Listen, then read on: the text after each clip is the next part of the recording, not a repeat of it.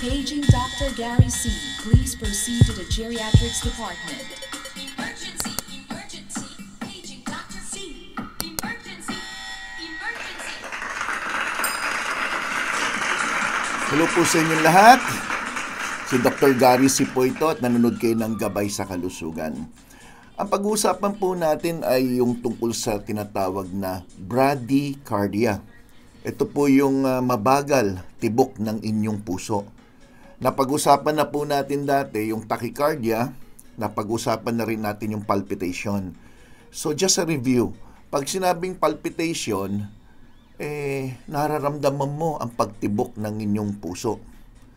Maaring mabagal o mabilis. Pag mabilis, ang tawag tachycardia. Pag mabagal, ang tawag bradycardia. So ngayon, alamin natin, ano ba ang mga posibleng dahilan bakit nagkakaroon ng pagbagal ng inyong tibok ng puso? At ito ba'y seryoso? Kailangan bang bigyan ng gamot o humantong sa mga tinatawag nating operasyon? Yan ang tatalakayin natin. So kung ready na kayo, makinig maigi, at kung ano man ang inyong matutunan dito sa Gabay sa Kalusugan, i-share nyo po sa iba. Mag-invite kayo ng mga friends to join us. Okay? Let's start. Pag sinabing bradycardia, ang tinutukoy natin ay mabagal sa normal heart rate ang pagtibok ng inyong puso. So dapat alam nyo siguro kung ano yung normal heart rate para malaman natin paano mo nasabi mabagal. Kasi ang normal heart rate ng isang adult ay dapat nasa pagitan ng 60 hanggang 100 beats per minute. 60 hanggang 100. Pag mababa sa 60, maring sabihin na natin meron kang bradycardia. Ngayon, ang bradycardia nangyayari yan na normal, kadalasan sa mga atleta. Pero sa mga ibang tao, na kung dati ang tibok ng puso niya naglalaro sa 70 to 100 o 70 to 85 halimbawa, at bigla na lang naging 40 o kaya 35, eh di ho ba dapat magtaka tayo? Kasi meron po mga nararamdaman ng isang tao kung bumababa ang kanilang pulso o ang bilang ng kanilang pulso. Ano yung mga pwedeng maramdaman? Ito po. Una, chest pain. Siyempre, maraming dahilan bakit sumasakit ang dibdib. At isa na po yung pagbaba ng tibok ng inyong puso. Pwedeng ah, sumasakit ang dibdib dahil sa mga problema sa baradong ugat sa puso, pwedeng dahil na nagkakaroon ng heartburn, di ho ba? Kaya dapat siguraduhin natin na ito'y hindi heartburn lang o hyperacidity na tinatawag nyo or acid reflux. So chest pain, number one. Confusion. Bigla na lang eh nalito yung isang tao. O kaya nagkaroon ng maaring panandalian na paghina ng memorya. May kinalaman din yan sa mababa o tatawag nating bradycardia. Dizziness, nahihilo, lightheadedness, yung parang lutang, madaling mapagod during physical activity na dati kayang-kaya naman.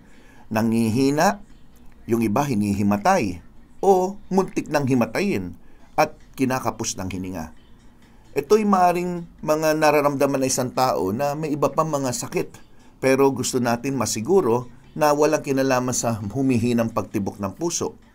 Ngayon ang tanong, anong mga posibleng dahilan bakit ako nagkaroon ng ganitong bradycardia? Ito po mga posibleng kadahilanan. Number one, medyo nagka, nagkaroon ng problema sa inyong ah, muscle sa puso kung saan ito'y nadadamage o humihina dala ng nagkakaedad. Number two, yung damaged tissue na maaring nagmula sa heart disease tulad ng ah, may problema sa mga valvula sa puso o kaya nagkaroon ng history ng heart attack nagkaroon ng problema sa puso na may kinalaman naman sa nung bata pa siya or congenital heart defect.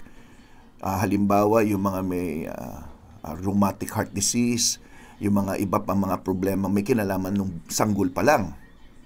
May mga tao naman nagkakaroon ng inflammation o infeksyon sa kanilang puso. Ang tawag diyan ay myocarditis.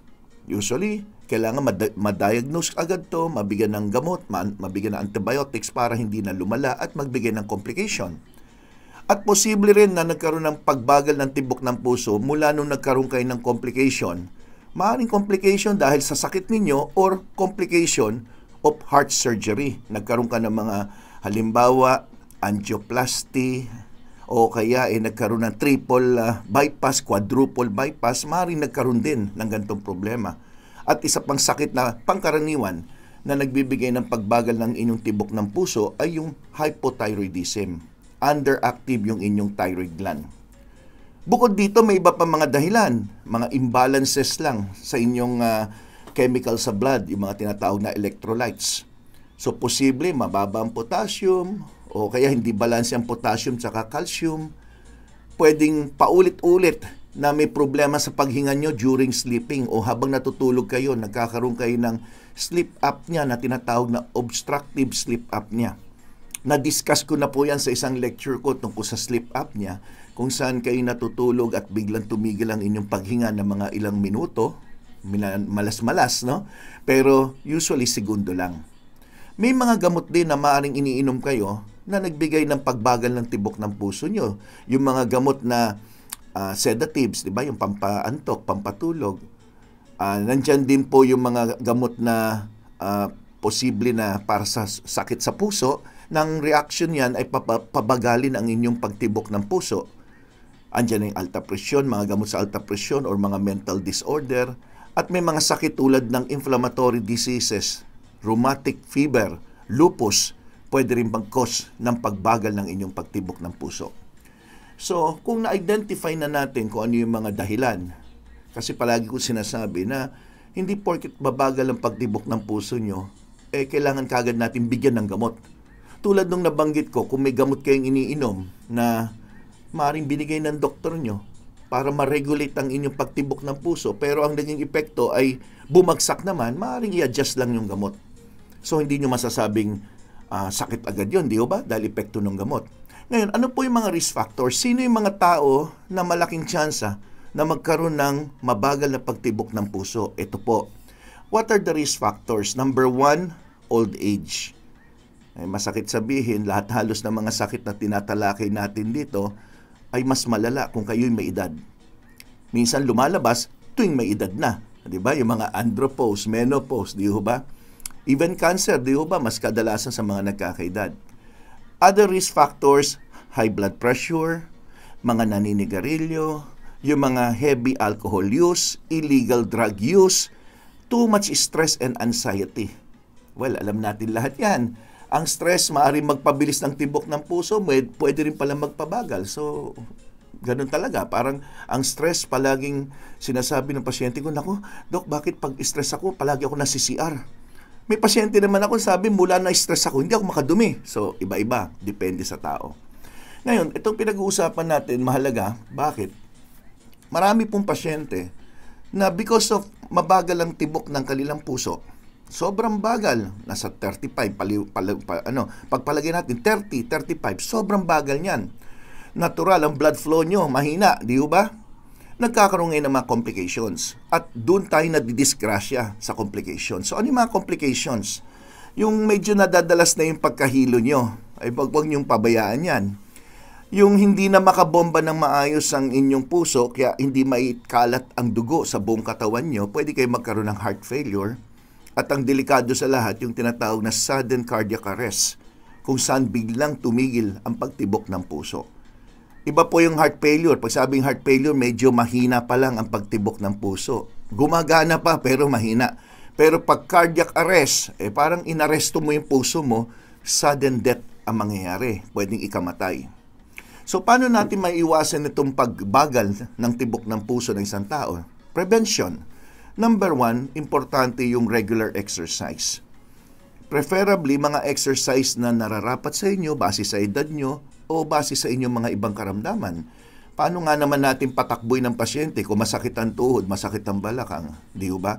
So may mga tamang exercises base sa inyong kakayahan, base sa inyong edad at base rin sa inyong ibang mga sakit. Number two, kumain ng healthy diet. So yung sinasabi palaging prutas, gulay, mahalaga. Dahil ang pagkain ng maalat ay maaring lalong magbigay sa inyo ng problema pagkain ng mga matataba. I-maintain nyo po yung healthy weight, yung inyong timbang, mahalaga po yan. Dahil mas nahirapan ng puso bumomba kung mas malaki ang susuplayan niyang dugo, ah, katawan, di ho ba? Keep nyo ang blood pressure nyo control, make sure ang cholesterol level nyo control, lalo na yung bad cholesterol. At kung umiinom kayo ng mga gamot na prescribed by your doctor para sa hypertension, para sa diabetes at para sa matataas na kolesterol, make sure inumin talaga yan. May mga pasyente na magandang pakiramdam, tinigil ang gamot, ayun, na disgrasya. At iwasan yung manigarilyo. At kung iinom naman kayo ng alak at hindi maiwasan, make sure to drink in moderation. Manage your stress. Yan ang pinaka-importante na pinakamahirap gawin. Dahil ang stress, iba-ibang tao, iba-iba ang kanilang pag-cope sa stress. So dapat alam nyo na kung ano nakakaalis sa inyo ng stress sa buhay magpa-manicure ka, magpa-pedicure ka, magpa-facial ka, at puts pa. Magpamasahe ka. Mag-shopping ka, pero window shopping lang, ha? O yan, makakabawas ng stress yan.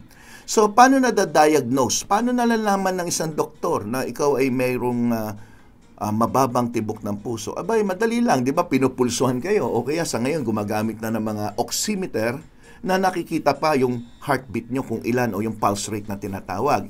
So physical examination, nakakapain yung sa pulsuhan nyo kadalasan dito sa may uh, wrist, di ba? So yung ibang mga doktor, binibilang yung isang minuto kung ilan ang tibok ng puso nyo. Yung minsan naman, yung ibang doktor naman, ginagawa lang sa 15 seconds lang at tina times 4. Di ba? 15 seconds lang, tapos times 4 kung ilan ang kanyang ano, shortcut, kumbaga. So, ano pa, pwede mga blood test to check kung may mga thyroid problem, to may mga electrolytes imbalance tulad ng mga sinabi ko mga potassium, sodium, mga ganyan. At ECG, pwede rin malaman. Pwede rin mag-Holter monitoring, parang 24 hours. May nakakabit sa yung uh, parang malit na device para makita yung takbo ng inyong puso sa loob ng 24 oras. Some doctor might advise stress test para ma-rule out natin yung mga seryosong problema sa puso. So yan yung mga pwedeng gawin to diagnose Pagdating sa treatment, siyempre kung nalaman mo na ano yung dahilan ng problema, mas madali mo i-treat. Yung pala may hypothyroidism ka, binigyan ka lang ng gamot para tumaas yung thyroid hormone mo, nawala na yung palpitation nyo. Nangyayari po yon di ba? Nawawala din yung tachycardia, nawawala rin yung bradycardia o mabagal o mabilis man ng tibok ng puso, nagkakatalod sa, sa thyroid hormone. So, babalansin nyo lang siya, yung ganon. So, treatment, as I've said, ang bradycardia, ang treatment diyan at ang uh, ang ano ay depende depende dun sa anong cause. So treatment for bradycardia depends on the severity of the symptoms. Sometimes walang nararamdaman, maaaring hindi bigyan ng gamot. Pero kung napakababa talaga ng heart rate nyo, maaaring bigyan kayo ng gamot. Pero very important ang lifestyle changes. Medication na kinakailangan palitan man o bigyan ng tamang gamot, bahala ng doktor nyo base sa nakitang dahilan. At pag minalas-malas, yung talagang tipong mas kinabigyan ng mga gamot, hindi pa rin kaya, maaring papasok na po yung tinatawag na pacemaker. Yung pacemaker, eh, lalagyan ka dyan ng uh, parang siyang tutulong para magbigay ng electricity sa iyong heart para maging regulate, ma-regulate ang inyong heartbeat. Okay? So, I hope itong binigay ko sa inyong pahapyaw na paliwanag tungkol sa bradycardia, eh, naliwanagan po kayo. Share nyo po ang aking mga tinuro sa inyo. At please, don't forget to place dyan sa may comment box. Type nyo lang yung I Heart GSK. Ibig sabihin, napanood nyo, naintindihan nyo yung paliwanag ko, at humihingi pa kayo ng more, more, more lecture. At sa mga hindi pa nakasubscribe, gabay sa kalusugan Dr. Gary C. Mag-subscribe, huwag kalimutan yung thumbs up, ha? Pakonsuelo na yan at saka yung notification bell, click nyo lang po yan. Sa mga nagtatanong ng aking clinic, ito po, The Life Extension, Center for Health and Wellness. Nasa third floor ng Belkins Tower, 127 Malacas Street, Central Diliman, Quezon City. Nasa likod lang ng Philippine Heart Center, dyan sa May East Avenue. Contact numbers, tawag mo na kayo for appointment for consultation. By appointment lang po ang consultation. Tumawag na lang po kayo sa 8911-1314 o kaya sa 0917 577 7675. Okay? So maraming salamat po ha sa lahat ng mga nanood. Huwag niyong kalimutan ha, gabay sa kalusugan is just a gabay sa kalusugan.